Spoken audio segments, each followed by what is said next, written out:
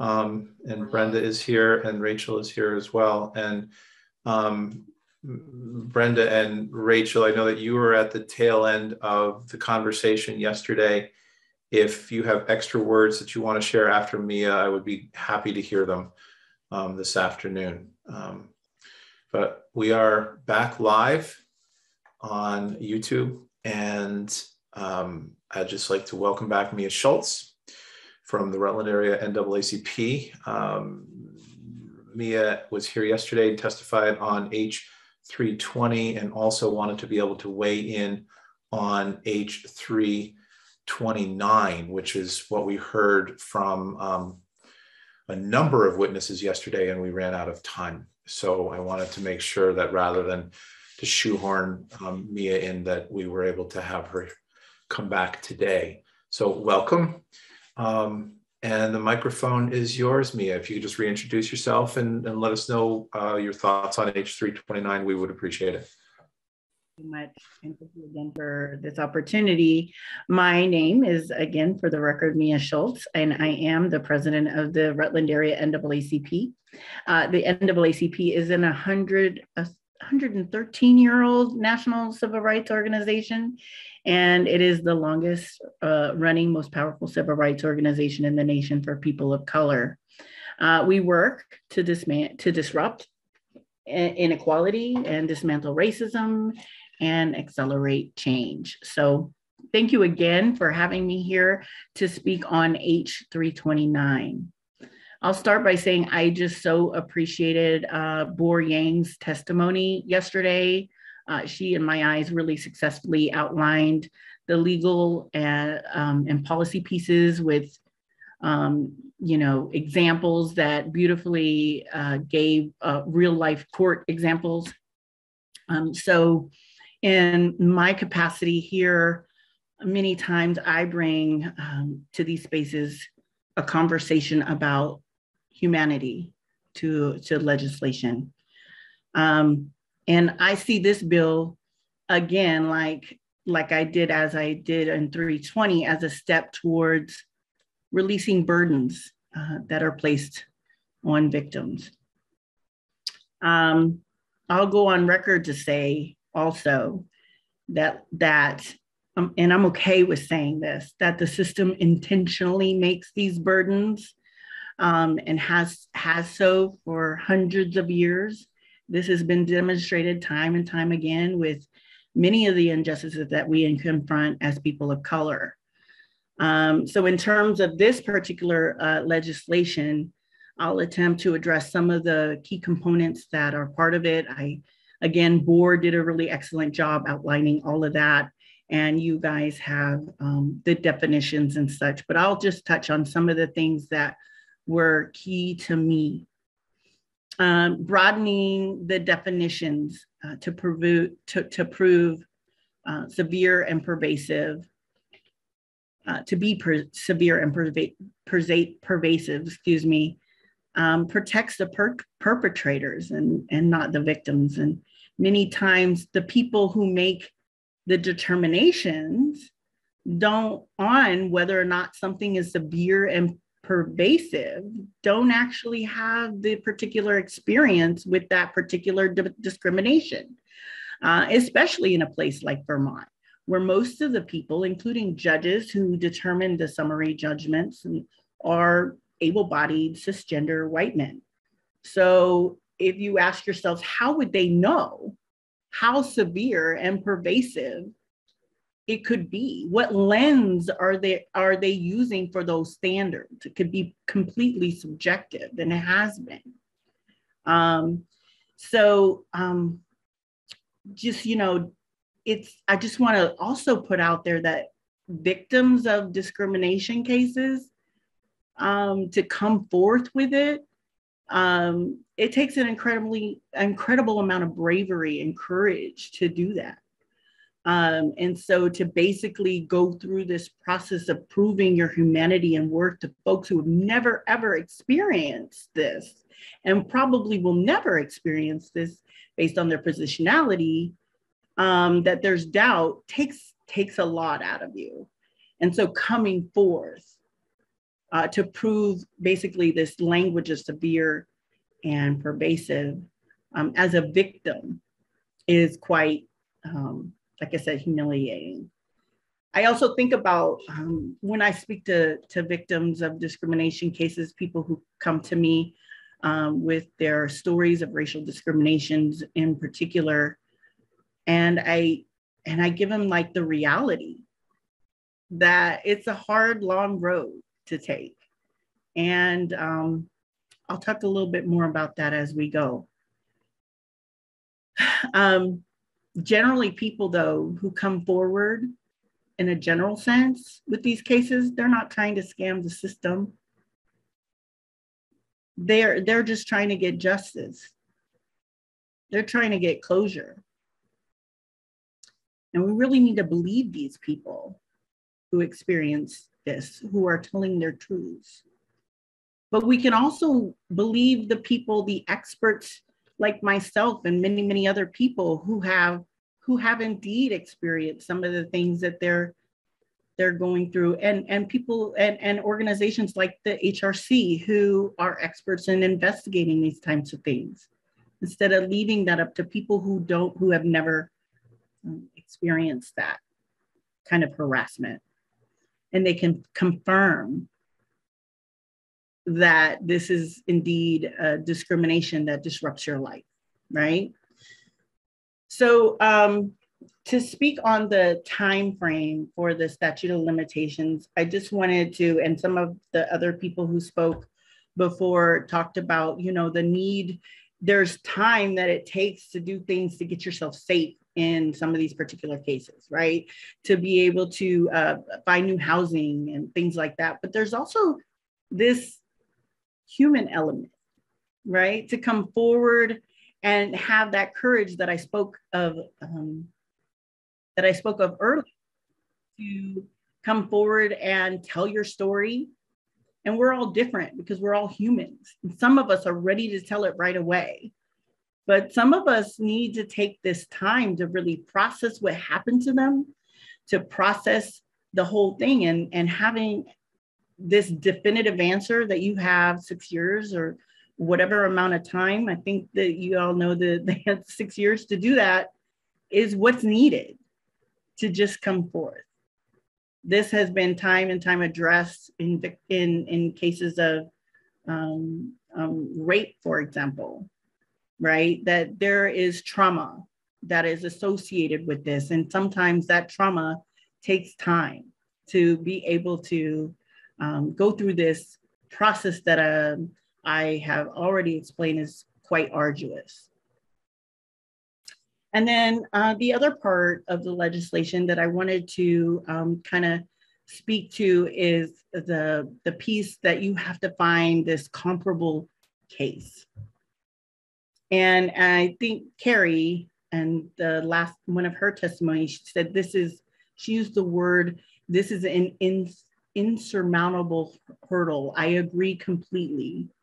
Uh, there have been times myself that I have not been able to advocate for people because we don't, we simply don't have the resources to be able to tap into the healthcare facilities or the uh, police departments or the or or the employment um, offices to find these comparable cases, um, right? And even if we did find a comparable case or one that appeared to be comparable, really there is no experience again like that of a person who has been marginalized that can be compared to a white white cisgendered able-bodied person.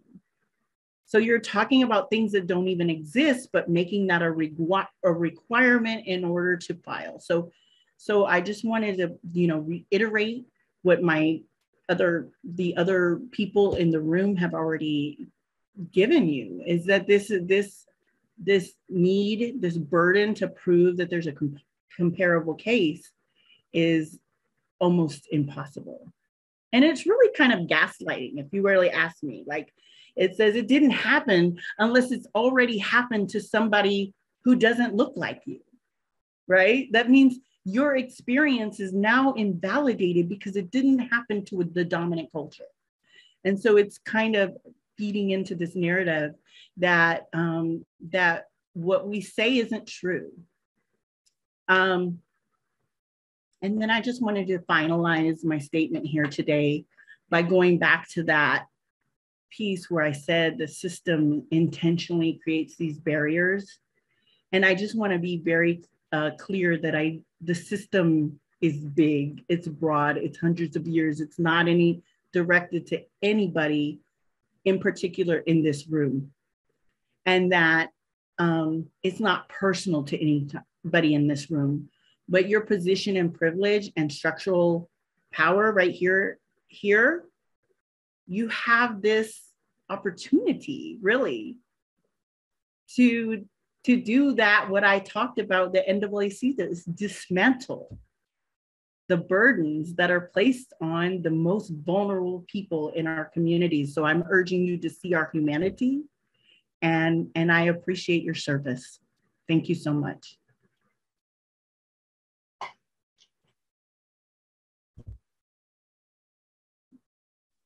Thank you, Mia. Um, any questions for Mia this afternoon? Um, Mia, there's a in in this legislation, there's a real differential, or it's an addition to some of our discrimination laws of adding Harris or you know the words Harris or discriminate. Um, can you speak to that a little bit from from an your experiences when trying to help with people deal with the discrimination laws that we already have? Is this something you're comfortable talking about?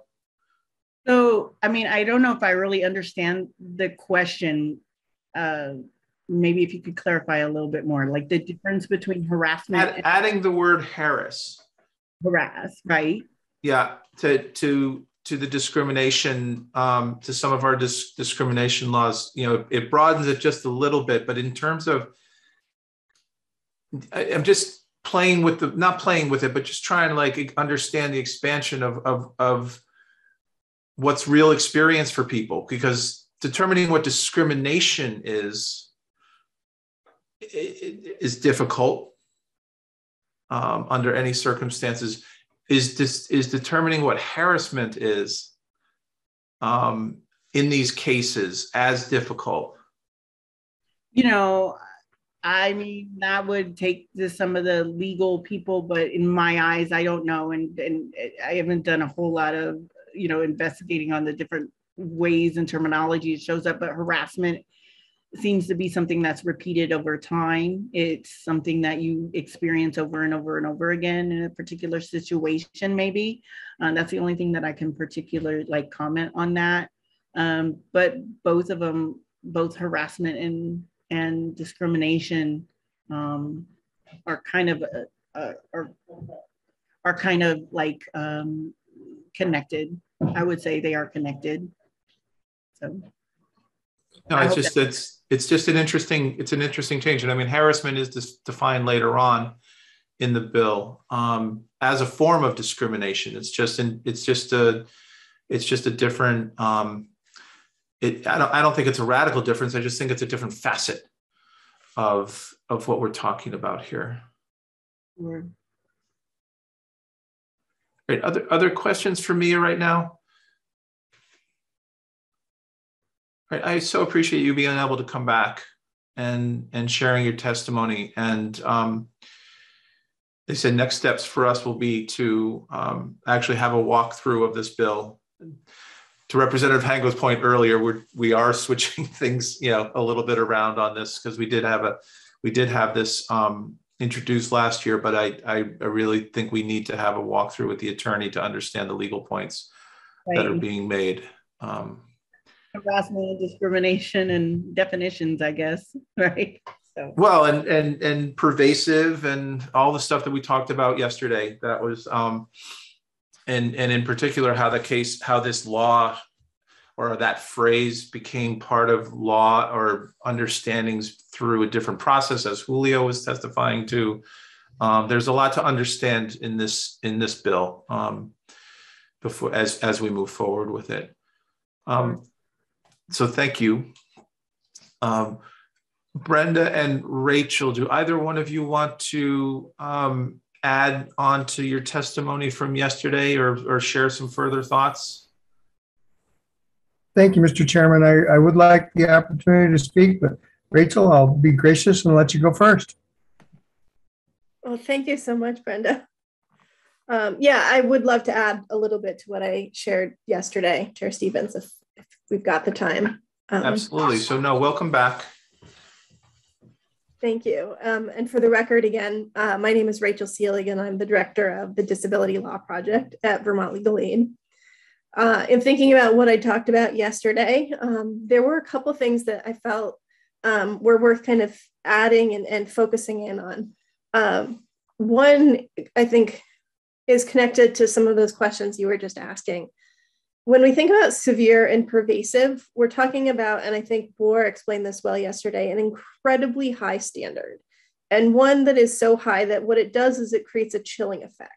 So people who um, have experienced bad treatment don't think it's worthwhile to make a complaint or to try and remedy the problem because it has it's it's not every single day. And it's not you know as bad as what they've heard of other horror stories. And so i think that is a big piece of why that language needs to come out of the common law that's been built up around uh, anti-discrimination law um, the second thing i wanted to, to touch on was uh, i think julio thompson mentioned that this would be a way of untying our state law on fair employment practices from federal law um, and Title VII. I think it's important to note that it would also be untying, for example, the Vermont Public Accommodations Act from the Americans with Disabilities Act. So it would have a similar effect there in what I think is a good way. Because, like in the employment context, um, what happens is one court uses the severe and pervasive standard in employment, and then a, a, public accommodations case comes along that's about that same protected class, and they adopt that severe and pervasive standard not in the employment context, but in the public accommodations context. So it finds that it winds its way into other parts of the law. Um, and the third thing that I wanted to mention is in terms of extending the six to the six year as a kind of standardized statute of limitations. The other thing that I would have suggested the committee to, to think about is that right now, if a person wants the Human Rights Commission or the Vermont Attorney General's office to investigate their complaint before they decide that they want to pursue this in court, they need to get that complaint in within 300 days of the last discriminatory act. That's a lot that's a very short period of time, especially if you then have 6 years to bring your claim in court. Um, and I think folks have talked about, you know, the need for time to heal and be mentally ready to make a complaint like that. And so the, the other piece that I would think about in terms of getting to that six year statute of limitations is a longer period of time to make that complaint to one of those two bodies, depending on whether it's employment or public accommodations or state employment. Um, and then last, you were asking about Mia about the harassment and and adding that kind of as an almost as an or. I would really encourage you to think about it as one of many forms of discrimination. And I think the proposed language does that. Um, we've had a definition of harassment in state law in terms of education for a long time. And that actually shows up in the bill, kind of near the end in the Title 16 section. One of the things that I think is important when we think about harassment is that it can be just one incident.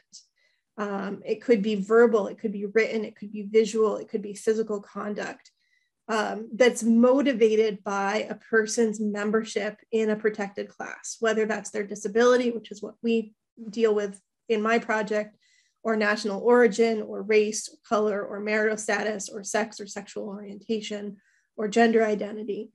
Um, and in the education context, the way that we've defined it is that it either has the purpose or effect of objectively and substantially undermining and detracting from or interfering with a student's educational performance. Um, and I know that that language is proposed to be a little bit modified to kind of bring that standard down as well.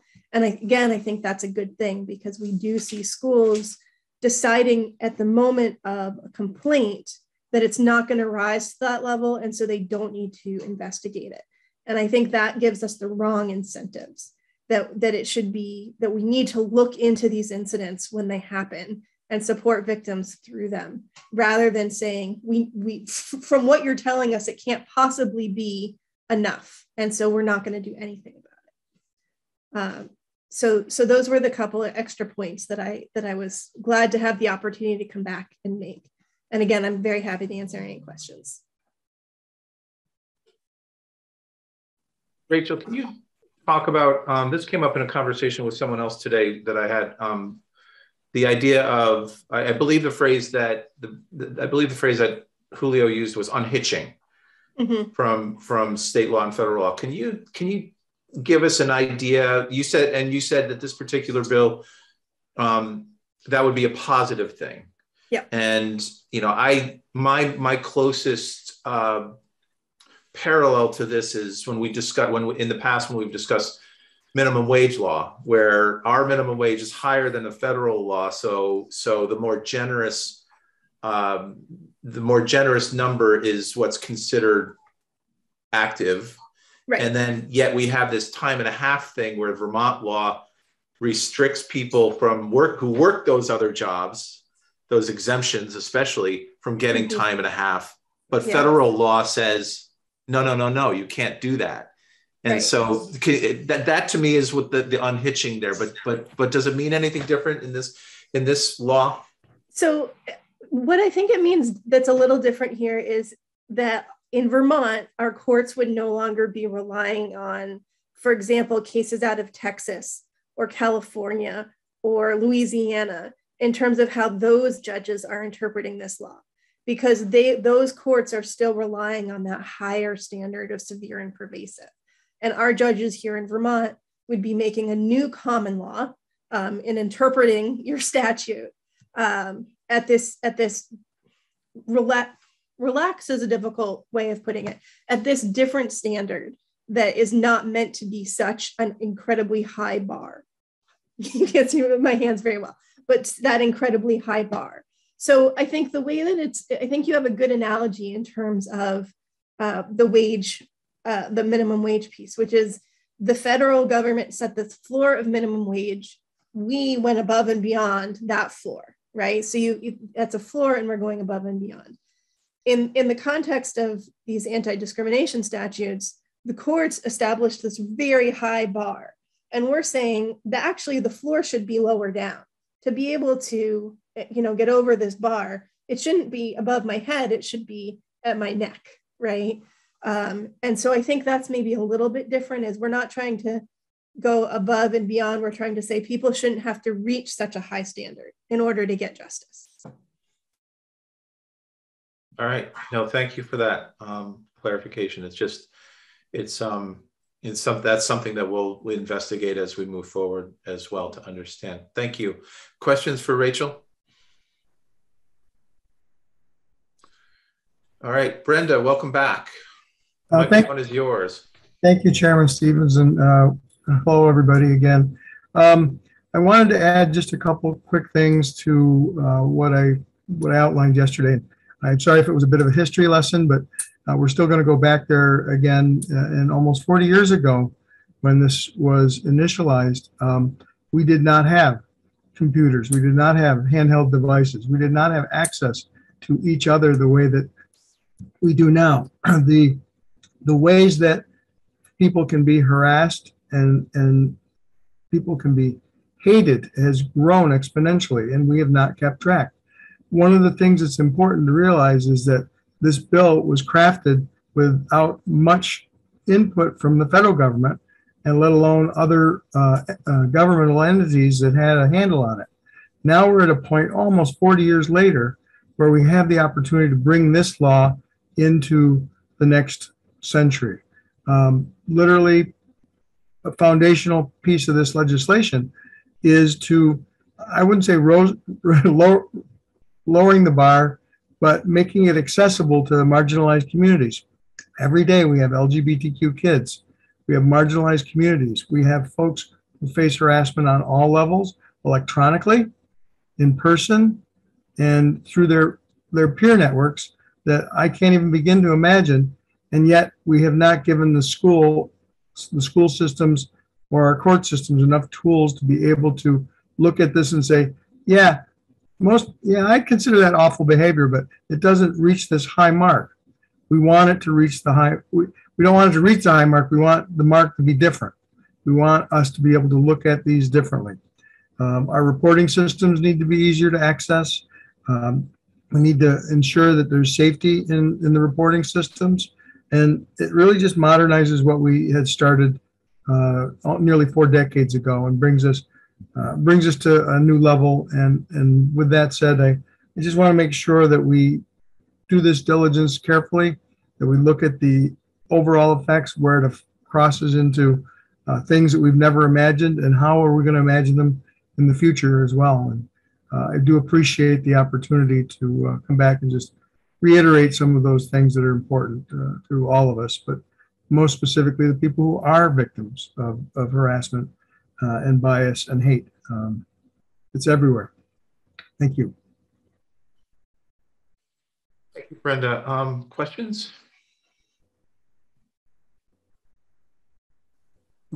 Brenda, with your work and the work that you've done in your career with discrimination, um, what what percentage of people? I, this is a hard. I don't know if I'm going to word this right. Um, we heard from Carrie Brown that 80% of women experience sexual harassment at work, and that's that's a statistic. That's fine, but you know, in in your line of work, where where um, and the folks that you deal with, um, do you find that they have a pro- have a problem even reporting discrimination for the fear of? Um, I mean, in one of one of these bills, the one one part of this bill was the idea that of, of comparing, like the, the the discrimination that you're suffering or experiencing is got to be the same as someone else's. Um, do you have people who are not reporting instances simply because the bar is too high? Is that is that what you're saying? You know, that's a that's a great question. Um, and one of the things that I hear is incidentally things get back to me with regard to did you call the police? No, they they won't listen. They didn't respond. They didn't come out. That's actually the initial point of contact for a lot of this harassment and discrimination. Um, the reporting agencies, the folks that we talk to, um, sometimes just don't want to listen, or it doesn't feel, uh, it doesn't meet their objectives to what they feel would happen in the court farther up. I think the message comes from the top down that people are being listened to, that reports are being taken, that the hierarchy now is more uh, easy to access and to, to have these reports done. And I, I look at um, specifically things that happen in schools. Uh, when when kids report to uh, whoever they might, a teacher or guidance counselor, that they've, they've been harassed or that or that somebody uh, threatened them online. Um, we don't hear about those. We don't get that, and I'm betting it happens every day. From a community standpoint, I don't know anybody who has not in my community the transgender community who has not had a bias or a discrimination thing happen to them. And very hard to describe specifically because each one is like a fingerprint. nobody, nobody implements hate the same way, but there's a theme of discrimination and bias that just underlies it all. Um, 100% might be too high, 50% might be way too low. Um, but again, I don't hear all the wonderful, wonderful stories. I hear the, the harder stories. I hear what happens to people and where they get roadblocked or where they get stopped or why they don't go on. And usually it comes to me like, no, I didn't report it. Why not? Nobody wanted to listen. No agency took up the, the information. And it may be the nature of the beast um, because of the fear uh, people have of, of being their authentic selves, uh, of being out to their community.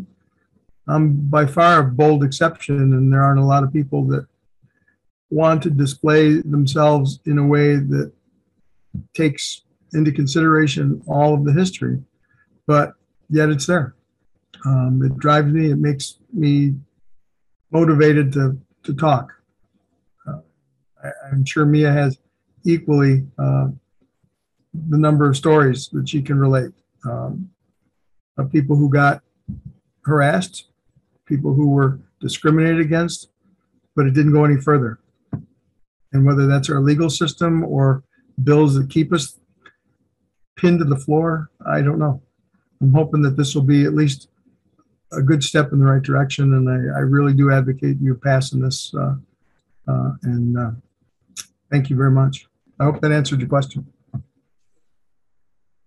Clucky, you had your hand up. Are you okay, or do you have a question? Okay. All right. Um, no, thank you all. I'm glad you came back um, to fill in, you know, to fill in some of the gaps and to have an opportunity to to to um, further your testimony. And and um, it's good to see you. And I hope you all have a good weekend. Um, and we will be, like I said, our next step on this bill is to get a full walkthrough to understand the the details that you've all um, and the previous witnesses have alluded to in their testimony. So, thank you.